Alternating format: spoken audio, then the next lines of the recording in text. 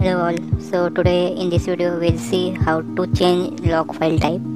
Means if you have a file type ASCII and you want to change into BLF or BLF to ASCII vice versa. So how you, how you can do? So there are two ways you, you can change. First is offline mode and second one is online mode.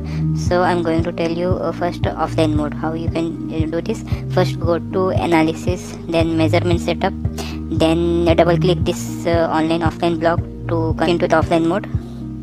Now yes it is uh, enabled. Now select this block and right click offline file list and add your log file. So go to add offline source this plus select this plus icon and then add your log file. So event.ascii my my uh, log file type is ascii logging file and i am going to change this into blf uh, file type.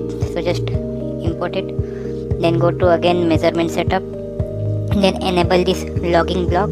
Just double click this one and select converted log and right, select right click go to logging file configuration. So here you will see logging file con configuration destination folder and destination file.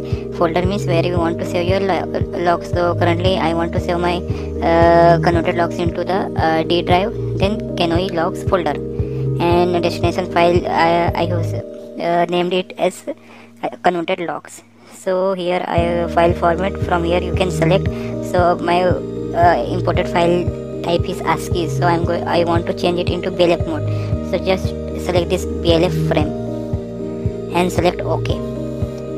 Now when uh, and select F9 so when you have connected your CANoe so uh, and start your CANoe then this ASCII file format will be changed into the BLF file format. So by using this way you can convert your uh, log files